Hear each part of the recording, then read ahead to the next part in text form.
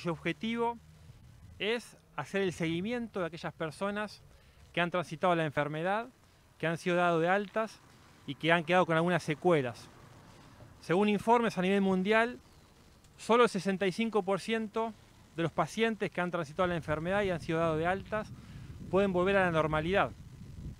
Y de aquellos pacientes que han transitado por una situación compleja en la enfermedad, que se calcula un 20%, necesitan sí o sí un seguimiento y un acompañamiento. Es por eso que este programa lo que busca es acompañar. Y desde el primer momento, como gestión, entendimos durante esta pandemia que era fundamental acompañar a los vecinos durante todo el proceso. En la prevención, durante el tránsito de la enfermedad y con este programa ahora con el post-COVID. En la prevención, como todos saben, con las distintas campañas que siempre permanentemente hicimos para los cuidados personales de cada uno de nosotros, la política de testeos, que ha sido fundamental también para poder disminuir la enfermedad. Hemos realizado más de 5.200 test gratuitos durante el comienzo de la pandemia. El durante, el durante tiene que ver con la instalación del, sistema extrahospitalario, el Pioneer, para atender a aquellos pacientes que no podían estar aislados en sus casas. También con el call center, la creación del call center municipal, que ha intervenido en llamados a más de 15.000 vecinos. Un gran trabajo de los empleados municipales en el seguimiento de los casos. Y ahora con esta política de post-COVID. Para nosotros es muy importante, muy importante. Quiero darle la tranquilidad a los vecinos que van a saber que además de contar con un grupo de médicos que van a tratar el aspecto físico, el aspecto mental, un grupo de profes de educación física que van a estar trabajando para ayudarlos a la rehabilitación. Sobre todas las cosas van a contar con un grupo de profesionales, de personas idóneas, con sensibilidad, que están para acompañarlos, para acompañarlos y para seguir y caminar juntos en la salida de la enfermedad. Quiero aprovechar esta oportunidad nuevamente para hacer público mi agradecimiento a aquellos que han dado la pelea permanente, especialmente al sistema de salud. En primer lugar, agradecer a todo nuestro equipo de las unidades sanitarias. Han estado siempre, siempre presentes para acompañar a todos los vecinos, no solamente en lo del, lo del COVID, sino en todas las enfermedades que nuestras unidades sanitarias permanentemente atienden. Agradecer a todo el equipo y a todo el personal de salud del hospital, de nuestro IGA por la gran labor. Y agradecer también muy especialmente a todos los equipos que conforman las clínicas privadas. Gracias por invertir y por, por pensar en Junín. Como siempre decimos, de esta salimos juntos, no hay otra manera. Estamos empezando a ver una pequeña luz al final del camino, pero aún la pandemia no pasó. Con lo cual es fundamental, fundamental seguir estando juntos, atravesar esta situación juntos, cuidarnos, como ya todos sabemos, y con este programa, insisto, es un acompañamiento. Para nosotros la salud es una prioridad y esto es un acompañamiento permanente a los vecinos que están pasando por momentos muy complicados. Sin duda la pandemia nos produce un agobio, nos produce incomodidades, nos produce muchas dolencias y además también muchas secuelas. Es por eso que estamos trabajando con la conformación de una mesa de crisis que trata ahora los aspectos psicológicos, sociológicos, educativos, los impactos que está dejando la pandemia en nuestra sociedad y por supuesto con este programa que entendemos que es vital, que es vital para acompañarlos. Sin más, agradecerles por la presencia y quiero pasarle la palabra al doctor Bertolot para que pueda dar más detalles. Muchas gracias. Bueno, muchas gracias, buenos días. Bueno, en realidad mm, eh, la, base del programa mm, fue lo que eh, Pablo fue diciendo, era una mm, necesidad ante la cantidad de pacientes que cursaban un COVID agudo, poder darles la contención y la evaluación y el tratamiento que necesitaban para el post-COVID, para lo que venía después de la enfermedad, cuando ya pasaron la parte aguda y el paciente está dado de alta de las instituciones. Para esto se conformó mm, un grupo donde los médicos de los CAPS son Em, los que van a recibir a todos los pacientes y van a evaluar y consensuar con el paciente qué es lo que necesita, qué es lo que em, al paciente le hace falta y em, se le va a brindar. El programa involucra todas las facetas que esta enfermedad conlleva en el posagudo. Tenemos eh, las evaluaciones donde hacemos espirometrías, evaluamos la función pulmonar, que como todo el mundo sabe es posiblemente uno de los órganos más comprometidos en la etapa de severidad. Y cuando encontramos la necesidad, porque los pacientes así lo ameritan, hay un grupo de profesores que están muy entrenados en la rehabilitación y se van a encargar de esta parte, con una oferta de horarios muy adecuada, por la mañana, por la tarde. Los pacientes van a poder hacer rehabilitación en, el complejo Betomesa a cargo de profesores del, mismo equipo que estamos en el post-COVID. Y por último, tenemos una parte no menos importante, muy importante, porque el COVID deja muchos trastornos psíquicos y tenemos la faceta de la salud mental cubierta, que ahí, mm, según la necesidad del paciente, se podrá hacer online, se podrá hacer presencial, la, mm, la oferta está y hay que usarla porque la patología existe, es muy frecuente, tenemos muchos ciudadanos que están con estos cuadros a resolver y acá estamos para recibirlos y atenderlos.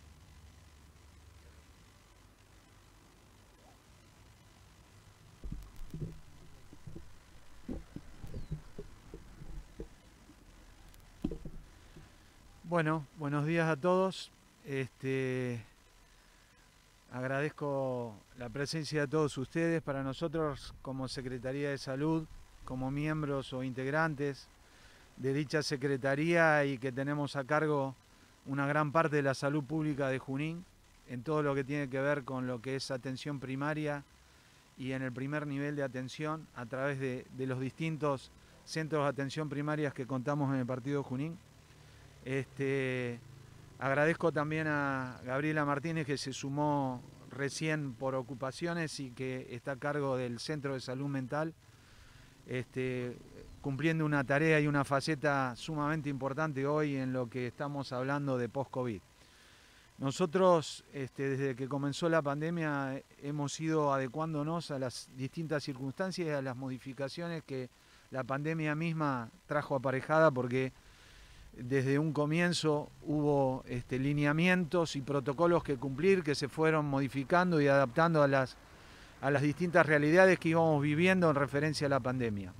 Y hoy si bien la pandemia no pasó, la pandemia sigue estando, el virus sigue circulando entre nosotros con variantes distintas, muchas de ellas mucho más contagiosas que las anteriores, pero que este, en los dos picos, en las dos olas que hemos tenido que vivir en Junín hemos logrado salir, este, creo que de una manera sumamente digna, como bien resaltaba nuestro intendente, agradeciendo a todos los estamentos sanitarios, tanto públicos como privados, porque indudablemente la tarea es de todos. Este, este COVID ha afectado en el mundo a millones de personas y como bien decía nuestro intendente que se ha, se ha puesto tan al tanto de nosotros que parece un, médico más, porque desde el principio está atrás de todo esto que ha venido sucediendo con la pandemia. El 65% de las personas puede realmente superar esta crisis a los 14, 21 días desde el comienzo de los síntomas, pero hay un porcentaje de la población que ha tenido generalmente un curso este, grave o ha requerido de este, terapias intensivas que hace que pueda llegar a tener este, episodios secuelares de esta enfermedad que afecta a un montón de órganos y a distintos sistemas de nuestro organismo. Los, que más repercusión generalmente han tenido han sido los, los cuadros respiratorios, los cuadros cardiovasculares y por supuesto todo lo que tenga que ver con salud mental. Tal es así que la OMS hoy habla de una pandemia sanitaria, de una pandemia económica y una tercera pandemia que es la, psicológica o de la afección con los trastornos este, mentales que ha traído. Entonces nos pareció oportuno que aquellas personas que cruzaron este, gravemente la enfermedad y que puedan haber llegado a quedar con secuelas, o aquellas que hacen un curso prolongado de la enfermedad que supera las 12 semanas, generalmente tienen estas consecuencias y poder abordarlas. Nos pareció que eh, la pandemia no solo es el abordaje de lo que pasa en agudo, eh, con el paciente, con las circunstancias que el virus trae aparejado y el proceso inflamatorio, sobre todo a nivel pulmonar, sino el post-COVID que le hemos llamado. Así que hemos generado este proyecto como para dar atención también en el post-COVID a todas las personas que han cursado. Por eso para nosotros es sumamente importante. No tengo noción de que otros distritos estén llevando adelante un programa de post-COVID. Así que celebro que lo hayamos podido realizar. Gracias Pablo por permitirnos esto. Me parece que va a ser muy importante para la ciudad de Junín que los ciudadanos tengan la certeza de que aún habiendo cursado el post-COVID, tengan la posibilidad de tener un seguimiento acorde y la posibilidad de una rehabilitación con todo el equipo este, de deporte. Así que bueno, gracias y es una satisfacción haber presentado hoy este proyecto.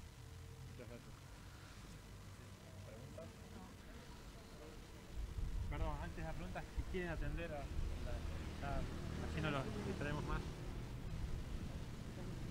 Gracias. Listo, ahora sí. Ah, bueno.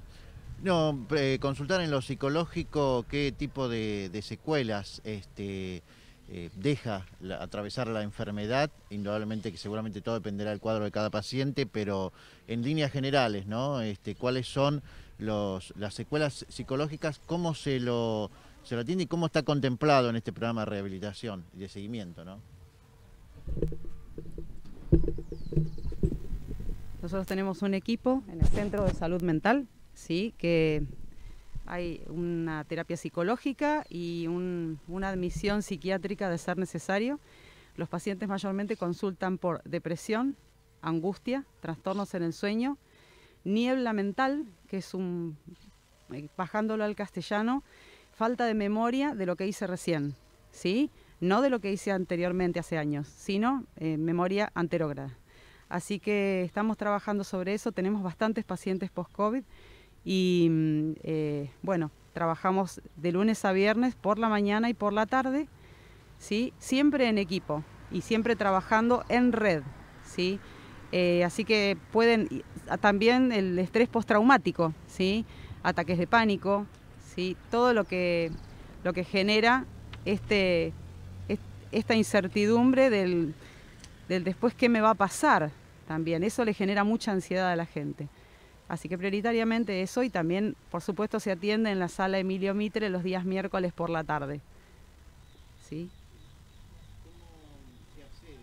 eh, el paciente a este programa? Eh, ¿Tiene que concurrir a alguna unidad sanitaria? ¿Cómo es el trámite que debe hacer para acceder? Y nosotros por nuestra parte hacemos una admisión en la Valle 929, el teléfono es 444-4429, o sea, 5 veces 429, se pide el turno de lunes a viernes, y en el- la sala Emilio Mitre, de la misma manera, pero los miércoles por la tarde. ¿Sí? Llaman a la sala y se pide, soy paciente post-COVID, necesitaría un turno para psiquiatría, y bueno, serán bienvenidos los que consulten. Y, y para el resto de las, eh, de las otras eh, deportes, etcétera. Cualquier, mm, cualquiera de los aspectos de, mm, del programa puede el paciente acceder individualmente. Hay pacientes que vienen acá a hacer la, mm, las mediciones de función pulmonar y después van a, a su clínico, pero nuestra puerta de entrada, por amplitud, por, por, disponibilidad, por cercanía con el ciudadano, son los médicos de los CAPS, los médicos clínicos de medicina general de los CAPS, de la salita, de, de los SICS son eh, la puerta de entrada más lógica porque tiene una cercanía con el paciente que le va a permitir eh, charlar y consensuar cómo va a ser todo el caminito para ver a la, doctora o a su equipo, al equipo de rehabilitación, función pulmonar o lo que el paciente necesite. Esa sería la puerta más adecuada, pero por cualquiera de los ítems que hemos nombrado podría acceder. ¿no? Te aclaro, eh, para agregar a esto, se ha hecho una capacitación a todos los profesionales que forman parte de los centros de atención primaria de Junín, en el cual se explicaron las normativas a seguir, así que el, el ingreso al programa es a través de los médicos que atienden en los, en los CAPS, en los distintos CAPS. y preguntar un poco en deporte también cómo se integra, cómo va a ser el trabajo con los pacientes, eh, qué, qué aspectos se habrán de contemplar para eh, este programa, en este programa de rehabilitación, ¿no? No sé quién hablar con uno de los... ¿Alguno de los chicos? Bueno. Eh, no, la idea más que nada principalmente es eh, ponernos en, contacto con el médico y en base a, lo que nos vaya diciendo el médico trabajar las partes aeróbicas o la parte mm, funcional que el paciente necesite.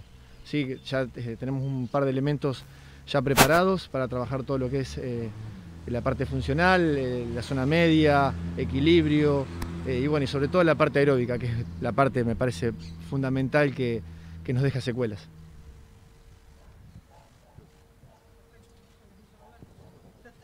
gracias. Buenos días. Gracias. ¿eh? gracias. ¿eh? Bueno, bien, gracias. Bueno.